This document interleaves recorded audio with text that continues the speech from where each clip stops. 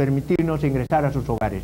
Jaime del Castillo Jaramillo los saluda y también todo el equipo de Radio Haya Producciones con su coordinadora Sugellas Vargas y también el apoyo del maestro Aquiles Guerrero, Juan Carlos Lizano, Medalí Cabrera, Jimmy Reyes Ayala y tantos integrantes de este equipo de Vez Cable y de programa Yo Se Opino que hace posible que lleguen estas imágenes a vosotros. Esta semana tenemos dos noticias fundamentales, dos columnas basales de la semana.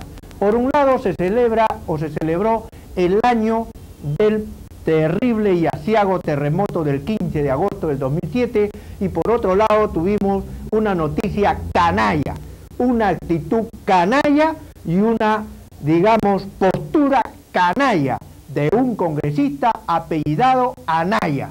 Eso realmente nos puso de mal humor. Sentimos el tóxigo pasar por la garganta y nuevamente hicimos fuerza en los ojos para no llorar, pero de rabia, definitivamente. El señor Aldo Estrada sigue sacando de su bancada solamente sapos, culebras, eh, carcamanes y mil y una fiera y mil y una intelequia y mil y un entuerto que simplemente nos dejan mal, nos dejan como en una republiqueta.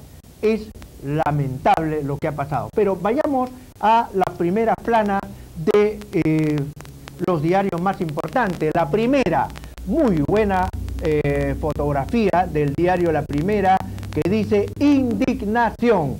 Muy buena fotografía y vean ustedes esa propaganda, una rata bien gorda que representa la mediocridad, la incapacidad y la perversidad del gobierno de Alan García Pérez. Corrupto e incapaz, Pisco los repudia, gobierno alanista debería decir ahí. Es terrible esta propaganda que el pueblo espontáneamente ha mostrado al mundo entero.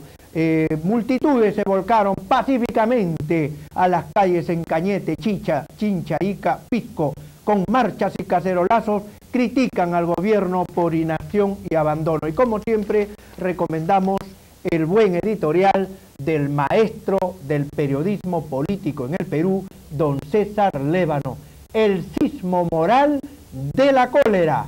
El sismo moral de la cólera. Recomendamos este editorial muy bien redactado y lo que dice César Lévano nos parece correcto.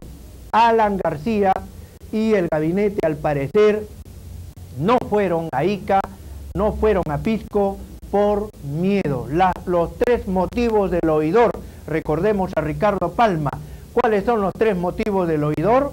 Por miedo, uno, por miedo, dos, por miedo, tres. Esto es lo que en pocas palabras nos dice el buen periodista César Lévano. Y